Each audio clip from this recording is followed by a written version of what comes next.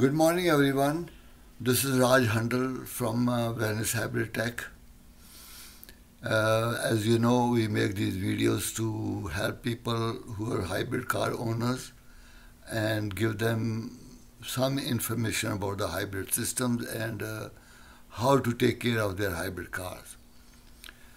So today in this video, I want to tell you that if you are a hybrid car owner, you must know what's wrong with your car.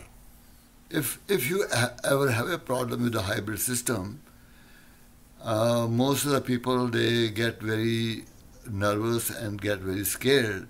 Oh, what will I do? What should I do? I, what's wrong with my car? And uh, you know there are thousand questions that come to our mind when we see our dashboard dashboard lit up with the, all these lights and warning signals. So how do you want to deal with it?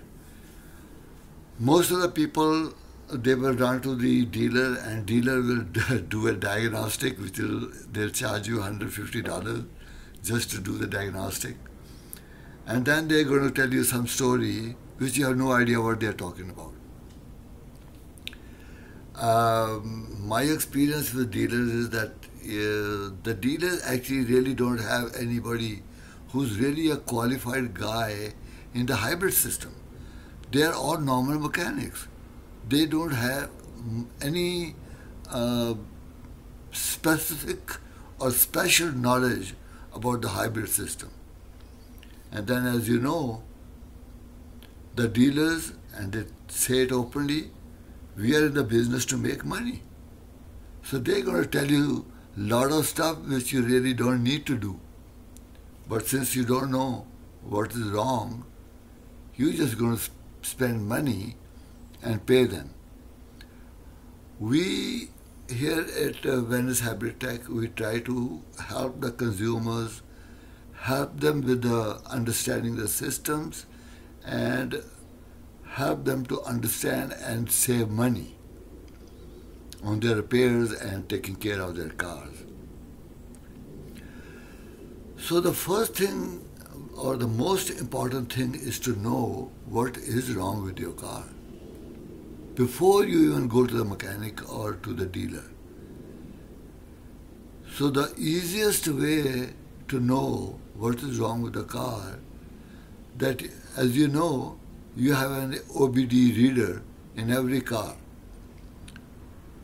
And uh, you can either buy a OBD scanner, which ranges from um, starting with 40 to 50 dollars and goes up to 150 dollars uh, the scanner you plug into the OBD and turn it on and it will read and tell you the codes and some of the readers are also capable of going on the internet and then telling you what the code means. Otherwise, you can just write down the code, go to a computer, type in the code and see what it means. Because most of the codes you'll see it really doesn't mean much. It could be just a simple um, thing as you fill the gas and you didn't close the cap properly or tightly, and the hybrid check hybrid system has come on. So it is very, very, very important. The first thing you do is to read the code, and either you can get an OBD reader, or you can buy, you can download an app on your smartphone.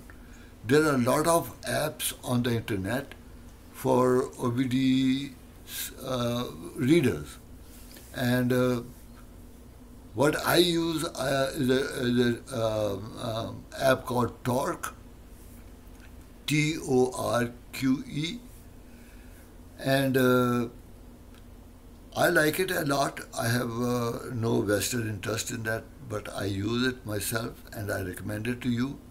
And it has a, a free version and a, a paid version. Um, I bought a paid version because I need it for my business, but you can just get a downloaded uh, free version on your smartphone. But to use the app, you will need a OBD uh, uh, Bluetooth OBD reader. And uh, so you need to buy that uh, OBD scanner, Bluetooth, um, from, you can buy it from eBay, costs about $15. And uh, uh, actually, I'm going to show you one just now. So here is a OBD scanner, uh, which is a Bluetooth scanner. Um, the name of the company is uh, Konnwei, K O N N W E I. Um, I'm very happy with it. I use it all the time. It's very handy.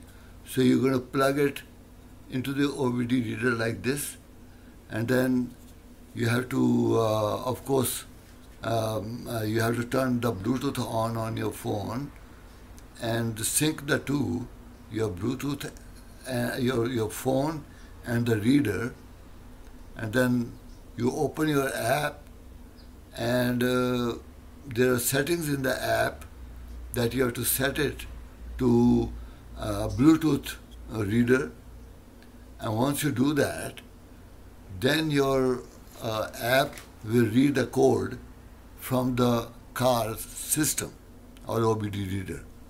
And once you know the code, then you can go on the on you can actually on the phone itself you can look up what the problem is, what what it means.